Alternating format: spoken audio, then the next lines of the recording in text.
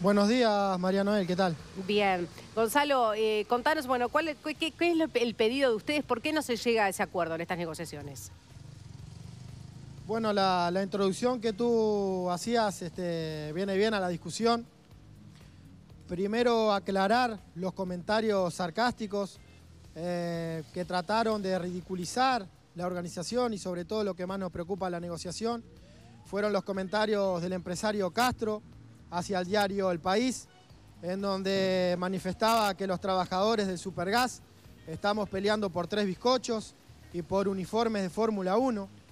Aclarar, no estamos pidiendo uniformes de Fórmula 1, estamos pidiendo uniformes retardallamas, como ya conquistamos en Acodique, para que se apliquen en todos los trabajadores de la rama, porque tenemos compañeros muertos en el sector.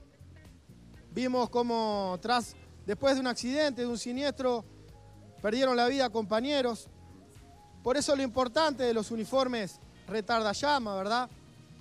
Eh, después con respecto a lo que manifestaba en el otro pedido el empresario, nosotros lo que buscamos, uno de los tantos puntos, son los tickets que se dan en las cantinas que hay en las plantas, en los comedores, en donde la empresa paga la mitad y la otra mitad se nos descuentan los trabajadores pero que tampoco es el punto vital de la discusión.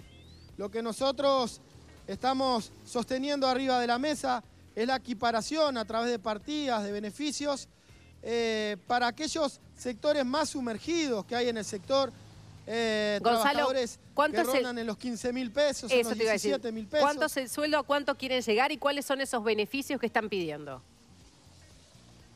Bueno, el sueldo de los trabajadores fuera del envasado ronda los 15 mil, los 17 mil pesos en lo que es distribución y flete. Distribución son los trabajadores que trabajan en los puestos, los cuales muchas veces tienen que subir escaleras con las garrafas en el hombro, a entregarlos este, bueno, a la casa del vecino, de la vecina. Esos trabajadores eh, rondan los 15 mil pesos, 17 mil pesos, y en el interior, lamentablemente, y da vergüenza decirlo, tenemos trabajadores que rondan los 12 mil pesos, y en condiciones de trabajo eh, bastante crueles, bastante sumergidas. Y el sindicato hizo hincapié en atacar esos sectores, ¿verdad? Que son los más sumergidos que hay en el sector. Gonzalo, ¿qué pasa hoy con las garrafas? Bueno, al no haber eh, acuerdo en el día de ayer, no se llegó a ningún acuerdo, este, tampoco acercamiento.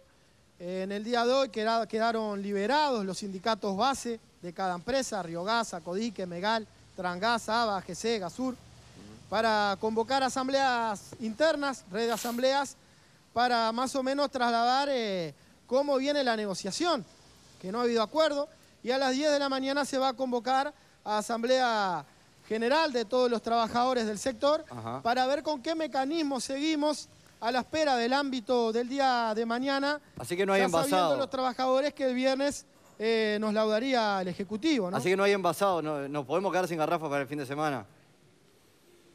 Por el momento se paraliza hasta las 10 de la mañana el sector, la asamblea. toda la cadena este, en asamblea para ver, bueno, este, con qué mecanismos se siguen, tras que el sindicato apostó desde diciembre a la negociación. Eh, se desglosó tres veces la plataforma, solo dejando puntos que hacen referencia a los sectores más sumergidos, ¿verdad?